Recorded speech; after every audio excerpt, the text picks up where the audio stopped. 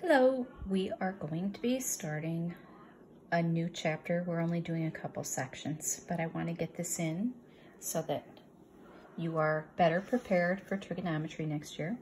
This is going to be a brief um, introduction to trigonometry. Trigonometry is great for triangles, and we are going to be using triangles that have a right angle in them, so they'll be called right triangles. Now there are six functions that come from trigonometry, and they are ratios of lengths of sides of the right triangle. So we have the sine, the cosine, the tangent, the cosecant, this is an n, the secant and the cotangent, and my dog walking across my kitchen floor. She's in bad need of having her, her being groomed. so we're gonna start off with a right triangle. Now here's our right triangle, and here's our hypotenuse. Maisie, go away. Here's our angle theta. This is the opposite side because it's opposite the angle, completely opposite. This is adjacent because it's right next to it. Now there is a way to remember how the ratios of these sines work, and we like to use the SOHCAHTOA sounding like an Indian chief, so katoa. So this is the sine, cosine, and tangent, and what they end up being is ratios. If you look at this, you'll see that the sine is the opposite over the hypotenuse. The cosine is the adjacent over the hypotenuse, and the tangent is the opposite over adjacent.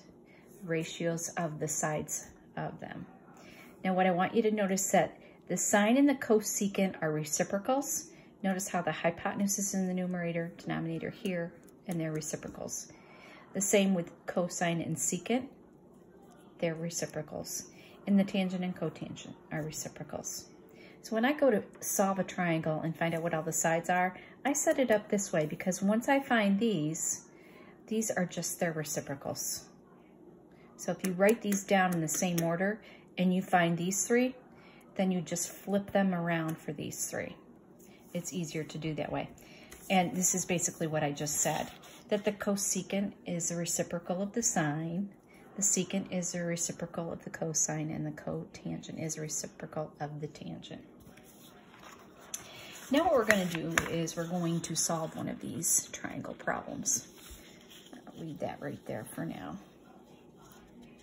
I'm going to draw a triangle. It's going to be a right triangle, and it's not drawn to scale. So this is example one.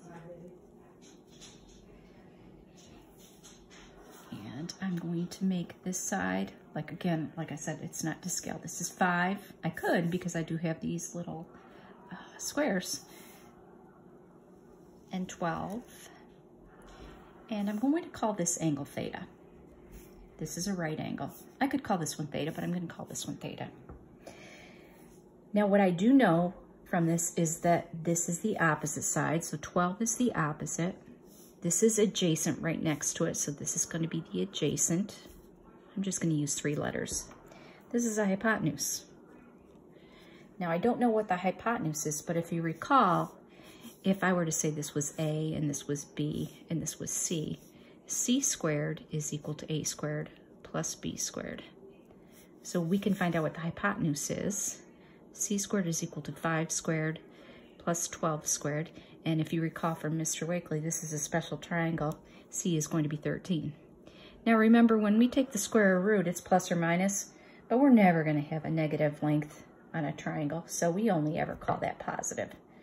If we had c squared is equal to 169, it would be plus or minus 13, but you can see that there would be no reason to say this is negative. So this is going to be the hypotenuse is 13. Now what I'm going to do is I'm going to set my uh, trig functions up here. So I want to find the sine of theta. I want to find the cosine of theta. I want to find the tangent of theta. And over here, I'm going to come and put the reciprocals. So this is going to be the cosecant of theta. I messed up there. Sorry, guys. That's CSC. This one is going to be the secant, and this one's going to be the cotangent. Now, since I have these already written up here, I'm just going to, going to use them as a reference. The sine is the opposite over the hypotenuse. The opposite 12 over the hypotenuse 13. The cosine is going to be the adjacent over the hypotenuse. Adjacent, that's 5 over 13. And then the tangent is going to be the opposite over the adjacent. Opposite over the adjacent 5.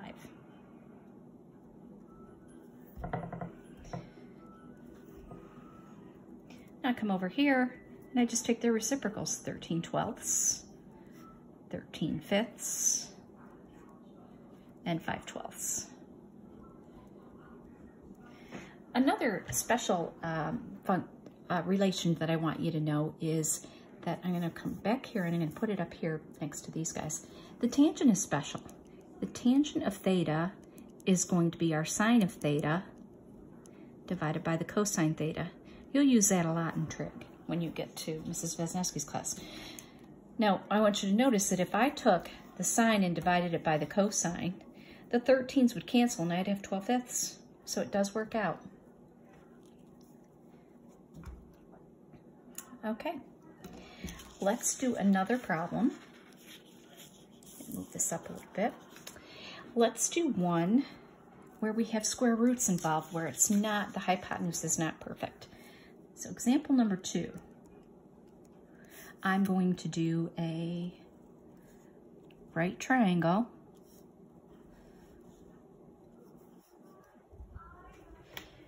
and this side's going to be one and this side's going to be one. So what is that called when we have a triangle that has two equal sides? Let's see if you guys know that.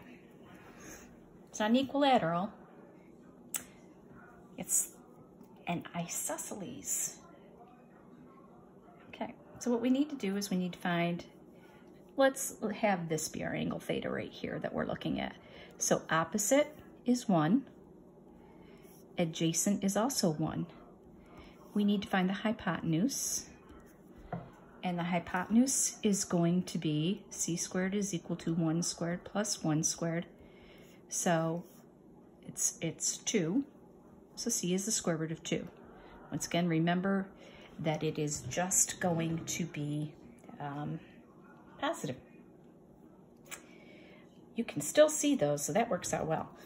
I'm going to put my sine, the angles that I'm trying, or the functions that I'm trying to find, sine of theta, cosine theta, tangent of theta, and then over here cosecant, secant, and cotangent. Looking up here, the sine is the opposite over hypotenuse, opposite over hypotenuse, 1 over the square root of 2. But remember how we don't like to have square roots in the denominator. I'm to come over here and I'm going to remind you how we do this. If we have 1 over the square root of 2 and we want to rationalize that denominator, we multiply top and bottom by the square root of 2. And this becomes the square root of 2 over the square root of 2 times square root of 2 is the square root of 4. Square root of 4 is 2. So that rationalized becomes the square root of 2 over 2. This is going to be the same thing, 1 over the square root of 2, which is root 2 over 2 when we rationalize it, since they're identical. And the tangent is opposite over adjacent, 1 over 1, which is just 1. Now, the reason why I wrote these, I left this here, is because I don't want to have to rationalize it again. I don't want to use that to go backwards. If you can see, I have 1 over the square root of 2. The reciprocal of that is just the square root of 2 over 1. You don't need the 1, I'm just showing it. Same here, square root of 2. And this is just 1. So that's how we find those. And right now I'd ask if anybody had any questions, but I can't do that. So we are going to move on to the next type of problem, next example. All right. Now look at this one. they actually tell us one of the functions and they want us to find the other five. So what they're telling us is that the secant of theta is 12 over 5. And I need to fix this. This is 12 over 5.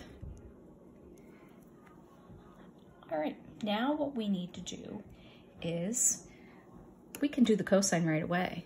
This is going to be 5 over 12. So what do we know about the secant? Well, we know the secant is the hypotenuse over the adjacent.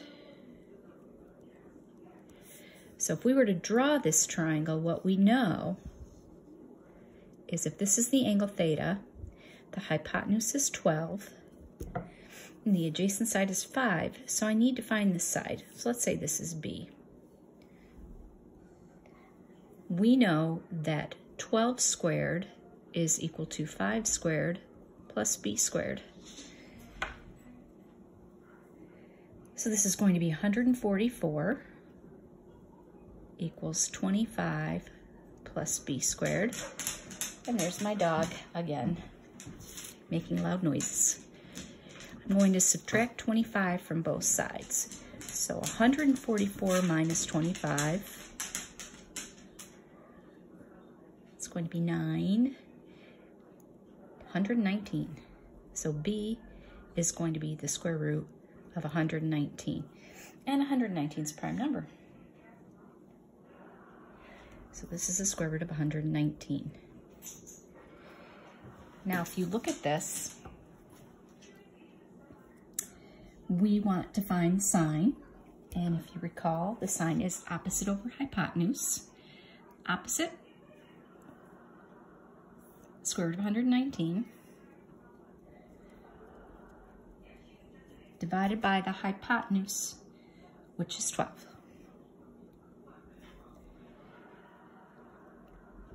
Cosine was 5 over 12. So the tangent is going to be the opposite over adjacent. Opposite, 100, square root of 119, divided by 12.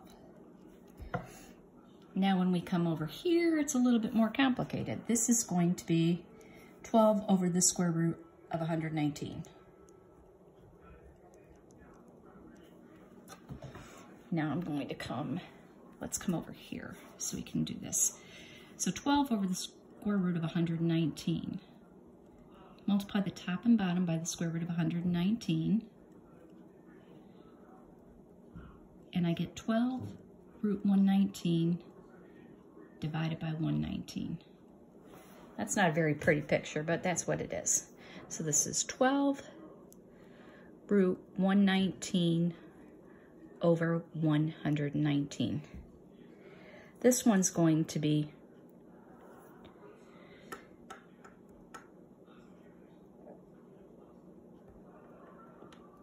Okay, does anybody see where I screwed up? They're not both. That's not going to be true. That's going to be the square root of 119 divided by 5, guys. I am so terribly sorry about that, but thank heavens we figured it out before we we ended the problem. So that one is just going to be, if you look at that, it's going to be the same type deal. It's going to be 5 over root 119 or 5 root 119 divided by 119. And I'm just going to skip this one for now. Okay, so I'm going to assign you some where you have to figure out all six of these functions using the three sides being adjacent, um, opposite, and the hypotenuse. And you'll have those ratios given to you so that you can actually find them. I hope everybody's doing well. That last sentence didn't make very much sense, but I'm not going to edit it. I uh, We're getting close to the end. Let me just explain to you what we've got going here. We have um, we have two sections to do in this chapter. And then I want to do another section of a different chapter that you'll need to know how to expand binomials, expanding binomials, shortcut way. What I mean by that, and I'll show you, say like you have a plus b and you want to raise it to the fourth power. I'm going to show you a way to do this that you don't have to do a plus b and you don't have to FOIL it out all the time. I'm going to give you a formula and a way to do that. So we're going to do that. And then a review on uh, factoring because I can't send you to Mrs. Vesneski without knowing how to factor. It just wouldn't be good. And then we'll be done. So once again, recap. Two sections from chapter 13. How to expand a binomial and a few problems to do for review on factoring. Hope everybody's doing well. Take care.